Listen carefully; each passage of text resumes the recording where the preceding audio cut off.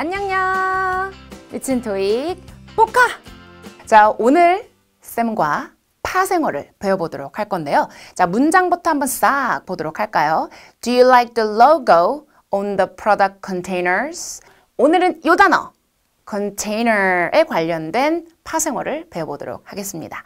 자, 첫 번째 contain, contain 동사죠. 담다, 함유하다.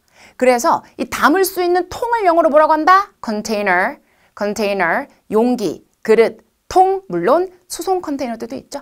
그 담긴 내용이 영어로 뭐다? 그래서 content, 소개된 내용물, 목차 이렇게 쓰기도 하죠. 책의 content, 목차잖아요. contain, container, content. 그럼 이 세 개의 단어가 파트별로 토익이 어떻게 나오는지 가봅시다.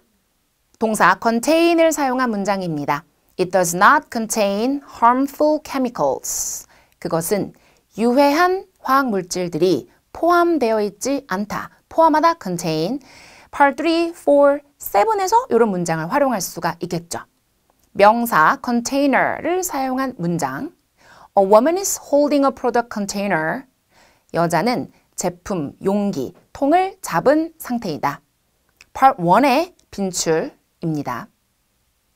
컨테이너를 이용한 예문 하나 더 가도록 할까요? Why don't we use reusable containers instead?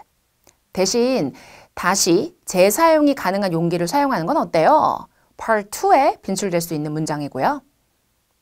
명사 content를 이용한 예문입니다. A table of contents reflects the headings in the report. 목차는 보고서의 주제들을 나타낸다, 반영한다. 파트 4에서 많이 나올 수 있는 문장이죠. 다시 한번 정리할까요? contain, 동사, 담다, 함유하다. container, 명사, 용기, 그릇, 통, 수송 컨테이너. content, 명사, 속에 든 것들, 내용물, 목차.